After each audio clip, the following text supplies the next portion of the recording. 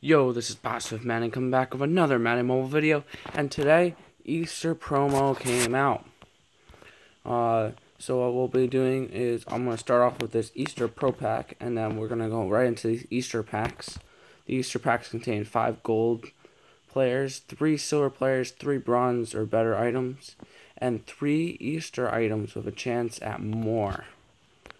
But first, we'll go with this uh, limited time Easter Pro Pack. See if we can pull anything good. We get an Easter egg, Eli Manning. Another Easter egg, so. Oh, whoa, more. Another Easter egg. So we'll just put these in the uh, set here.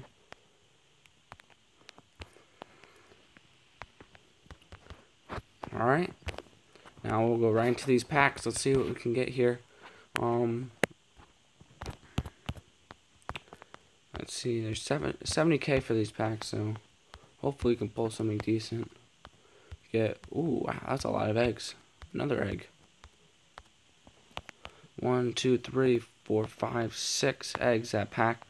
Not bad, but uh, those eggs are unsellable, so they're not worth much. We're hoping to get players here. Elite ones, maybe TJ Yeldon. Or, uh, I think Robert Mathis is another 92. And then there's the legend ones, which hopefully we can pull one of those. Uh, just a bunch of eggs here, though. Let's see. Another egg, another egg. Oh, Kyle Williams. That's a nice pull. Don't know how much he goes for, but um, not as much as like Robert Mathis or um, is he's a 91. The 92s go for more money, but we are already on our last pack. Um, I might do a um, legend pack opening, like the Easter legend, but we get two eggs and then CJ Anderson, which isn't a bad pull. You can get put five of those in, you get an elite card. But um, yeah. Uh, remember to like, comment, and subscribe.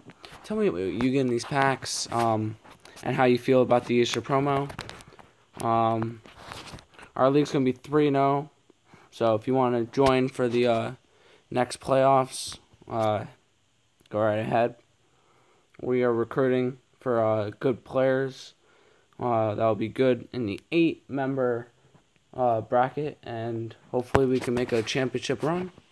Um, I want to thank you all for watching, and I'll catch you next time.